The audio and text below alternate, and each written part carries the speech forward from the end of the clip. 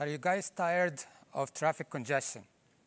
Are you tired of freeways that look and feel like parking lots? Are you tired of the frustration, anger, and sometimes road rage that we encounter on our roads? I have experienced road rage firsthand. Take a look. This is a true story. It has been a long week. Friday, 5 p.m. I just want to go home. A 10 minute drive to the freeway is taking an hour. This is forever. Finally, but the two lane ramp is crawling. The right lane is closing. Come on, let me in, please. Frustrated, I flash my headlights at him. You, not too nice guy.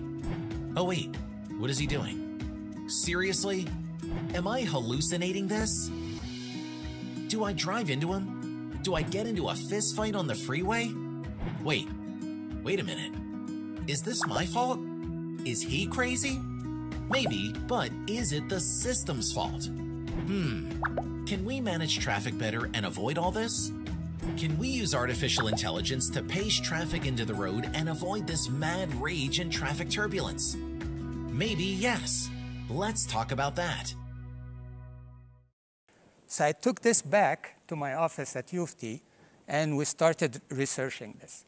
How to make roads smarter so we don't have to go through that frustrating congestion that leads to this kind of rage. So the answer turns out to be fairly simple and actually paradoxical. The answer is if you want to arrive home faster, slow down. Doesn't make any sense.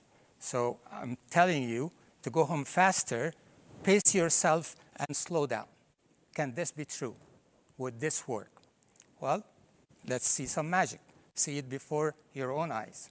What we have here is what I call the Doug McDonald setup, and these two funnels represent two freeways, identical ones. This is not so smart freeway. This is a smarter freeway.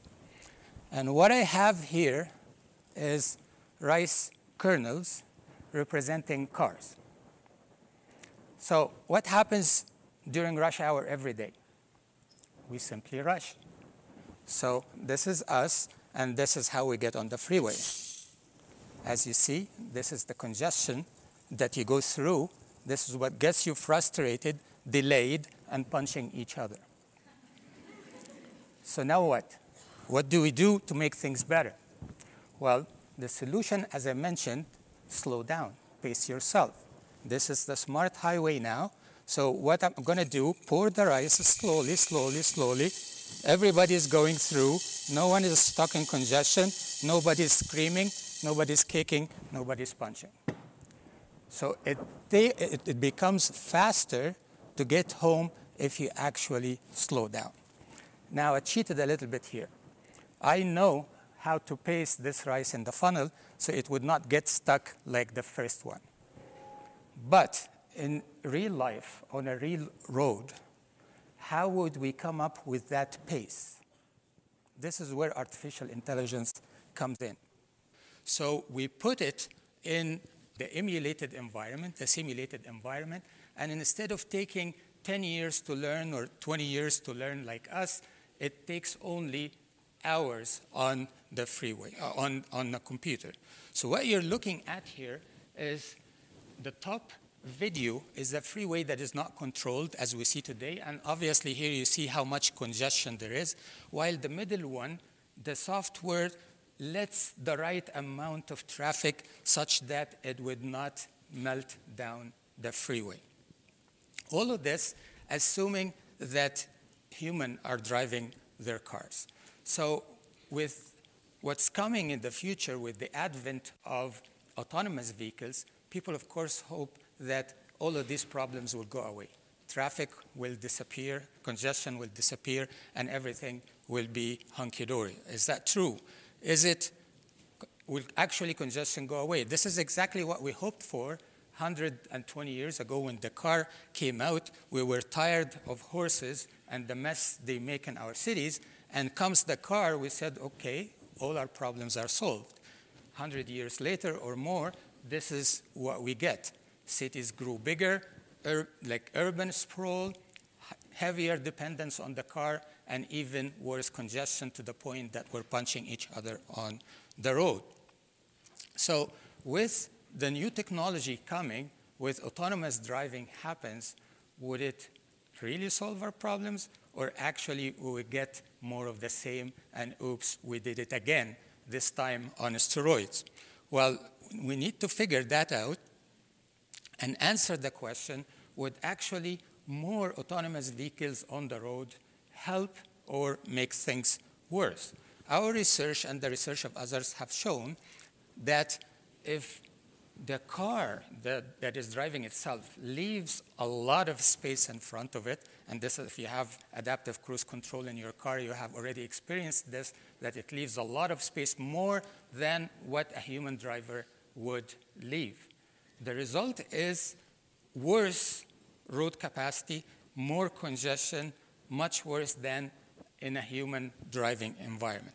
But the opposite is also true, that if cars drive in tight formations, leaving little space between them but at higher speed, then the capacity of the road would improve. So what you see on the colored curve on the right-hand side here is that the shorter the headways between cars, the higher the capacity of the road, the higher the capacity of the higher the capacity. So same problem solved. Like if technology can drive, car, drive cars in tight formations, then congestion uh, will disappear. Not true, because what will happen is no matter how much the capacity, the new capacity that is increased, if you overwhelm it with a lot more traffic than it can take, it will also melt down the same way you saw in this little rice experiment. So what do we do in this case? And this time, we're not driving the cars, we're not pacing anything. We want the cars themselves to learn how to pace themselves to avoid this traffic congestion. So on this bottleneck that you see here, the cars in our system learn when to drive in tight formations and when to space up.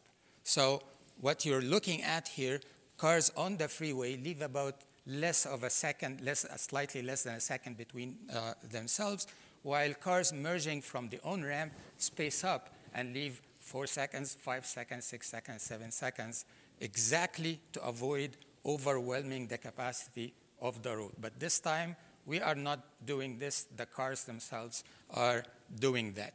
So what you're looking at here is another um, simulation where it shows on the top one cars that are not controlled, driving themselves, but they are not pacing themselves. And what you see is the congestion pattern that we've seen before and what we experience today. While at the bottom one, cars learn how to pace themselves such that we don't exceed the capacity of the bottlenecks on the freeways and we don't get into this messy situation. Do we gain anything from this? Well, we have our calculations so far prove that if we use artificial intelligence to pace traffic into the system without overwhelming the capacity of the system, that could save us up to 50% um, uh, of the time we spend on the roads without building anything. We don't need to double deck the roads. We don't need to spend billions of dollars on infrastructure. We just need to be smart about it using technology to, to help with that. That is in today's environment. In the future environment of autonomous vehicles, if we design them to drive in tight formations, that by itself will improve delay by 35% or so.